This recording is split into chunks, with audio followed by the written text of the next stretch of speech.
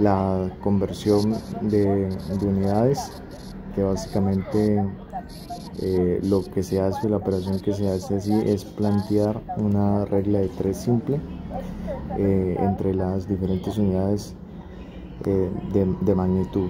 Así por ejemplo teníamos por ejemplo la siguiente equivalencia de que 100 centímetros era equivalente a un metro. Entonces si queríamos saber, digamos, cuánto valía 75 metros en, centímetros, pues lo que haríamos era plantear una conversión acá, buscando que en la parte del, denominador quedara la unidad en metros, es una forma.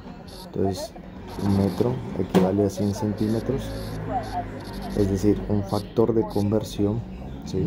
Eso es un factor de conversión y la unidad que nos quedaría nos quedaría ya en centímetros porque por decirlo de alguna manera las unidades acá en metros y metros se cancelan aunque no, no me gusta eh, hablar de esos términos pero es entendible pues para los alumnos 75 por 100 7500 centímetros ¿sí?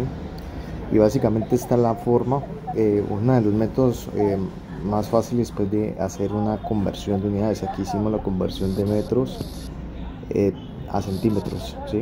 que, es, que en parte eso eh, se puede hacer con sus múltiplos, ya que es la centésima parte de un metro, un centímetro. ¿sí? Pero fuera metro o no, eh, básicamente yo acá puedo reemplazar las unidades que considere simplemente teniendo la equivalencia de lo que quiero ¿sí? de lo que quiero.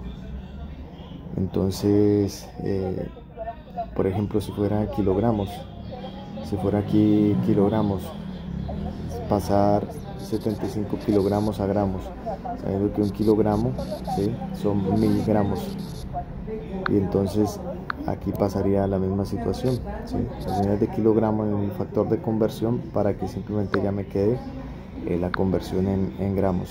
75 eh, por mil, ya aquí sería 75 mil y ya no sería aquí esto, sino que sería gramos. Entonces es una de las formas de hacer la, conversión de, unidades, ¿sí? basado en un factor, en el método de un factor de conversión.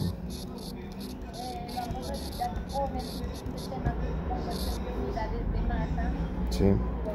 Entonces ahí hicimos dos, dos, dos conversiones de longitud de masa y de masa, ¿sí?